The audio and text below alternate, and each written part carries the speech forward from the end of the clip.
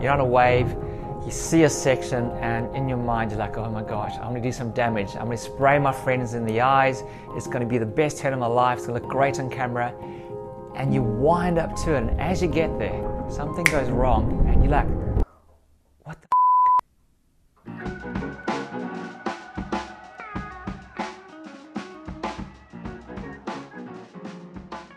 Whenever your mind is dealing with a stressful situation, one of three things is going to happen. You're either going to freeze in the moment, you're going to run from the stress, or if you've trained like a fighter, you may stand and fight.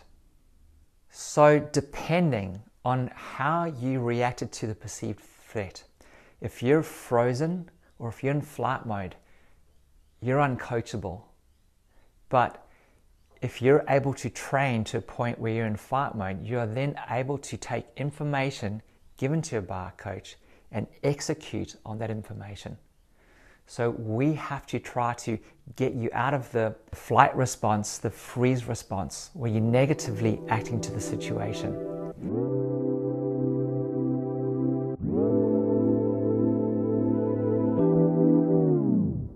So here's a scenario. I coach this kid at the beach and the heat starts and he can't connect anything. Basically, his parents are on the beach watching him. They aren't the richest of parents, but they work super hard to get the kid to every event, buy him new boards. So there's a lot of stress riding on that kid to perform.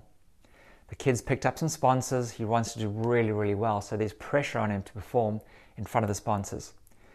There's peers watching him. There's friends watching him he can not make the right decision, chooses the wrong waves. When he stands up, it feels like he's got two left feet. His body's not responding. His heart rate's elevating. He can't breathe.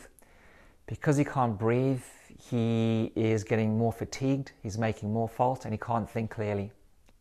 At that stage, that kid absolutely hates surfing and would like nothing more than to be removed from that and to almost just give it up, throw the towel in, and just get away from the stress.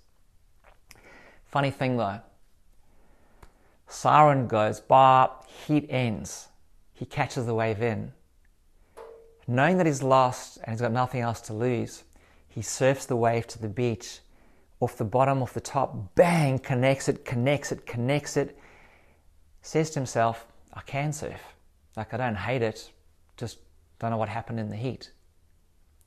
So, the funny thing is, when you take the threat away and the time frame away and the pressure away, he was then able to find the fight mode and able to surf really, really well. So that kid was me. I was on the QS competing and parents weren't rich. I was a diabetic, did everything right, put a lot of pressure, a lot of stress on myself, and I couldn't perform under it.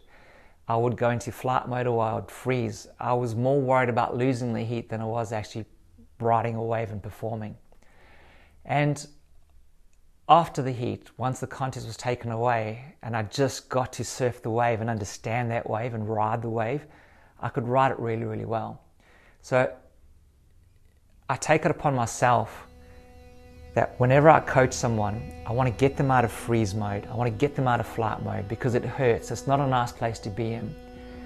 And I want to get you to interact with something magical, which is that energy in the wave. And by just taking that one wave, it's like flicking a negative switch to a positive switch. And it can make your entire day one wave.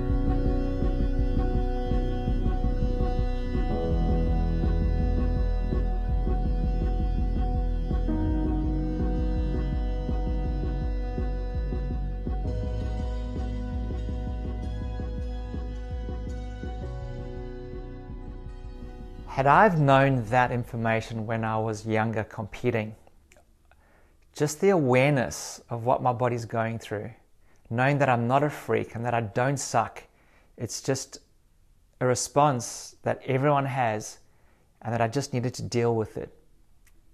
That would have made me a better surfer in itself.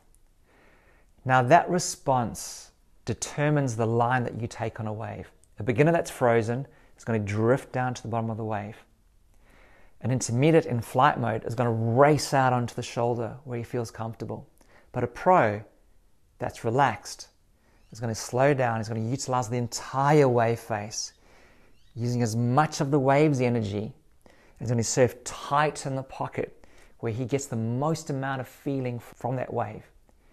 And he's going to make it look effortless because he's using his wave's energy and not his body's energy.